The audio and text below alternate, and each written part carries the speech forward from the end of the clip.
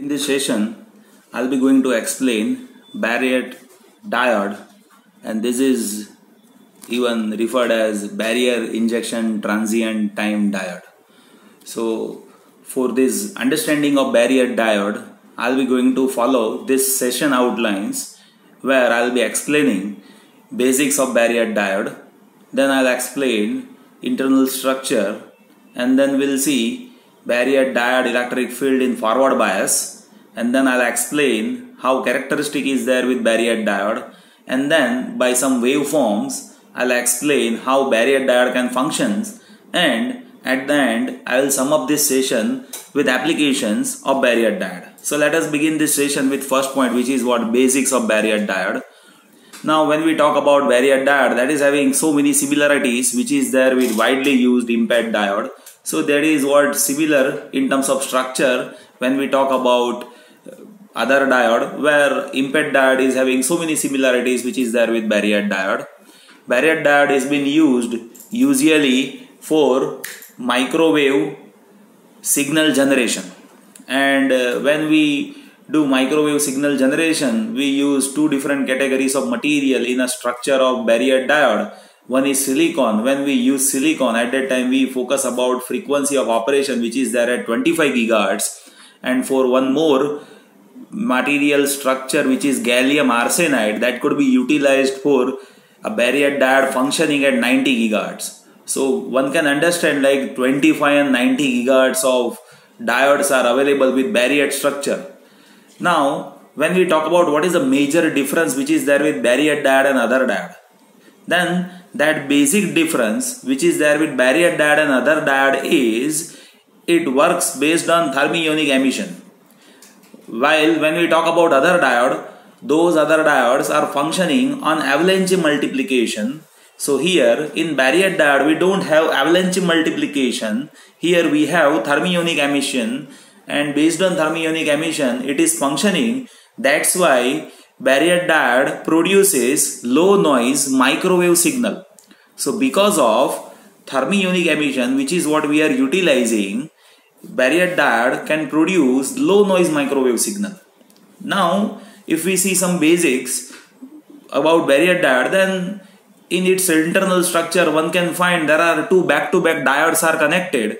So when we apply any potential to BARITT diode what happens is out of these two back-to-back diode, one diode will be in reverse bias. So most of the voltage drop that occurs across reverse bias which is there in one of that two back-to-back -back diode. And that I'll explain when I will explain that internal structure of BARITT diode. And in BARITT diode one more major thing which is that which is having punch through effect. Now BARITT diode is functioning based on punch through even this is what I will be explaining when I will when I will explain that internal structure with forward bias. And BARITT diode offers negative resistance characteristic at microwave and that is even happening because of injection of holes from collector to other end and even that is what I'll be explaining in its working. So these three points one is back to back diode connection and voltage drop is across reverse bias junction out of this two one diode and then I'll explain one punch through effect what is, how that is happening inside. And third thing is like how it offers negative resistance characteristics. So this is what the basic concern which is what we need to see while we observe working of BARITT diode and that is what we'll be going to observe that in characteristics. So let us move further with next point of BARITT diode so here one can see basic internal structure so actually it is two terminal device but one can see there are three layers P and P layers are there and emitter region that is even connected to P and collector region that is even connected to P. So what is the difference in between this? So basic difference in between these two is emitter region that will be little larger than collector region. So generally when we fabricate BARITT diode we focus about size of p-type material which is there at emitter side and it should be plus 5 percentage than the size of collector. So one can say like see for example if I say 1 micro mm that is the size of collector 1 micro mm that is the size of collector region. In that case plus 5 percentage means 1.05 micro will be the size of this region which is there at emitter side. So that is how BARITT diode structure is there. So that is having P and P type of layer and one can easily observe n-type region which is there which is what sandwiched in between P and P that n-type region will be larger one. The reason is here we have punch through effect. Now we'll be studying those things how things are happening in punch through effect but before that I think we should see what if this diode is connected in forward bias? And when we talk about discussion of internal structure what we say is like it is having two terminal. Physically there are two terminals. One is emitter and one is collector. But internally if we see there are three layers and say center layer which is n layer that has to be base as per PNP transistor. But this is not PNP transistor. This is only two terminal device. And there are only two terminals which is what we are dealing with to connect it to have a biasing of this diode. So only two terminals are there even though it is PNP type of connection. Now let us try to connect this diode in forward bias. So if I want to connect this diode in forward bias what I will be doing is I will be connecting emitter with positive terminal of battery and collector with negative terminal of battery. So let us have a connection. So emitter now that I am connecting with positive terminal of battery and this collector that I am connecting with negative terminal of battery. So as I connect positive terminal of battery with emitter and negative terminal of battery with connector, this diode will comes in forward bias. Now what will happen when this diode is coming in forward bias? So when this diode is coming in forward bias, if we see this layer P and P, there are two junctions. One is this junction and second is this junction.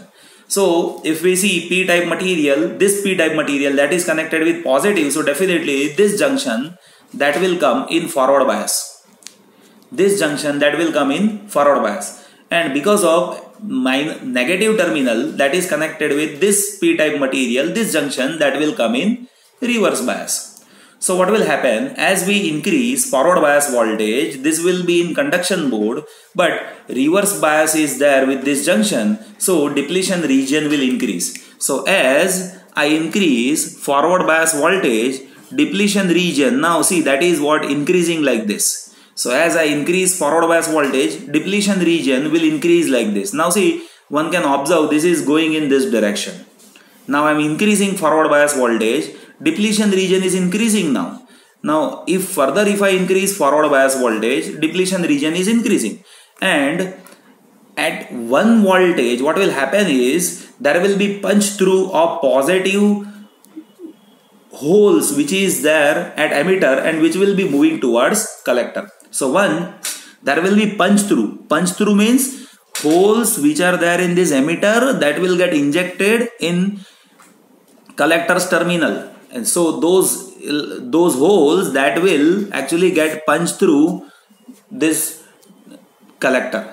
So this is what punch through effect. And by that punch through effect there is a conduction of this diode. So see that is how things are happening. Now let us try to understand what if if i have this diode in forward bias and what will be electric field which is there inside of this so if I say I have certain amount of voltage which is there in forward bias and right now my depletion region that is up to this. This is what my depletion region, I am just noting it as a D. So this is what depletion region which one can see right now and as it is in forward bias, this junction is in forward bias, this junction is in reverse bias. So if this junction is in forward bias, one can see electric field direction. So that electric field direction that will be negative over here and depletion region is having positive electric field through this. So if I plot electric field then over here electric field will be negative.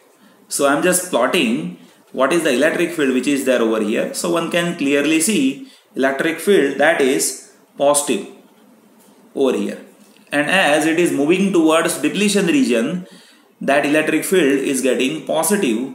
And now one can see over here in depletion region electric field is constant. And this is how depletion region is having electric field. And as that reverse bias depletion region that is getting diminished at this end now depletion region that electric field at that instant will get decreased sharply. So this is how electric field is there inside now punch through that is happening by this electric field so one can clearly see what happens is as I increase this forward bias voltage this depletion region that will get expanded in this direction as I increase forward bias voltage that depletion region will expand and it will be getting expanded in this direction. So what will happen is this electric field will move in this direction. This electric field that will move in this direction and after some time what will happen is there will be no forward bias region which is what we can observe and once it inserted at this p-type layer there will be punch through of holes which are there inside of this emitter region and that will go inside of this collector. So this is electric field which is what one can see.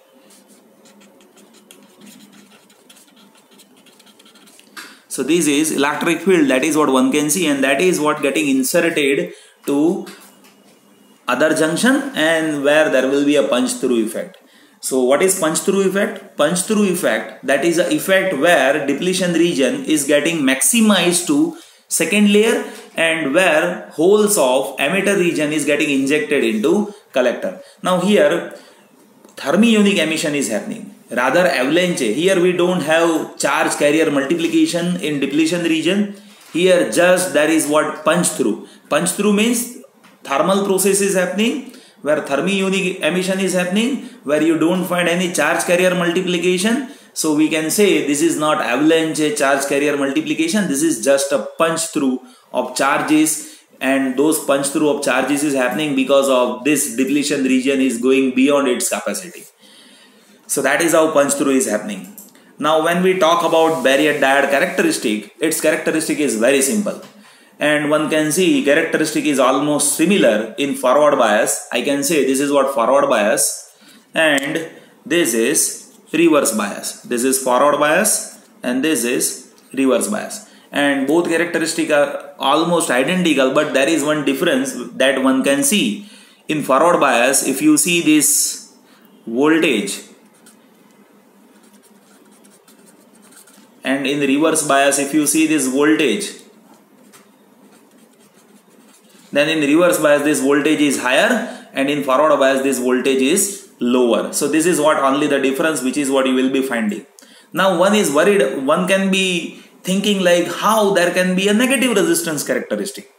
So in VI characteristic, you don't find negative resistance characteristic. That negative resistance characteristic will appear when you insert microwave signal. So I'll be explaining that how negative resistance characteristic which has been exhibited by BARITT diode and how it is affecting in microwave signal. So that is what I'll be explaining in next part. So let us have that part.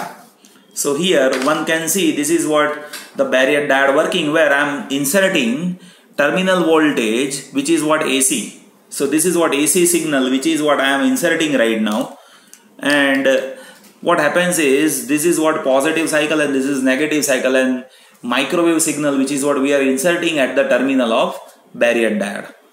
Now what will happen? There will be injection current because of punch through. This injection current, injection current is there due to punch through. So this injection current that is there because of punch through. Now when punch through will happen? punch through will happen when we give voltage across this layer beyond its depletion width. If we give forward voltage beyond its depletion width, then punch through will happen. And when punch through is happening at that time, injection current will be there as a spike. So one can see at punch through effect, there will be a spike of elect injection current. So what I can do for linear characteristic, one can give uh, voltage and they can gradually increase it and if voltage is increasing beyond this depletion voltage across this reverse bias junction then punch through punch through is happening but when we talk about this at that time what I have done is I have set this biasing with punch through over here so one can see here there is a punch through so this is what the biasing position similarly here even there is a biasing position. So this is what biasing position where punch through is happening. And as punch through is happening, one can see there is injection current. And this injection current, that is what leading terminal current through BARITT diode. So one can clearly see there is what current which is what flowing through BARITT diode. Now what is happening over here with respect to current? Let us try to understand this. This is so interesting. So when we talk about that injection current. So once injection current is happening, BARITT diode is started to conduct. And once it is getting started to conduct, one can see there is what terminal current which is what happening. Now terminal current that is happening for this positive half cycle as well as for this negative half cycle. The reason is once punch through is happening, conduction is happening through BARITT diode. So as conduction is happening through BARITT diode, current is flowing. So during positive half cycle of voltage, there is what positive current.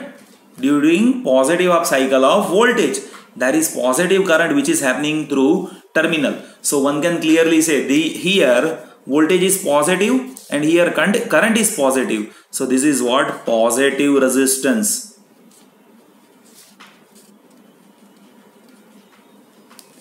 And during negative up cycle there is what flow of current and here voltage is negative and current is positive so one can say this is negative resistance so this is negative resistance.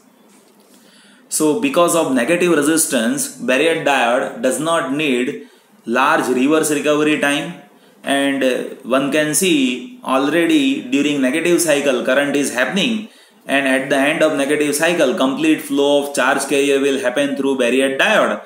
So again when it comes to positive half cycle it is completely recovered now there is no flow of current and flow of current will happen after punch through. So again after one more punch through one can see there is what flow of current. So over here there is a flow of current. And here again one can see this is what positive resistance and this is negative resistance. So that is how negative resistance characteristic which is been exhibited by BARITT diode. And that negative resistance characteristic which you cannot see when you plot VI characteristic but that happens when we insert microwave signal inside. And because of there is no need of larger reverse recovery time BARITT diode could be utilized for microwave signal operation and those operations of signal that earlier I have discussed like for silicon you can work it with 25 gigahertz and for gallium arsenide one can work it with 90 gigahertz.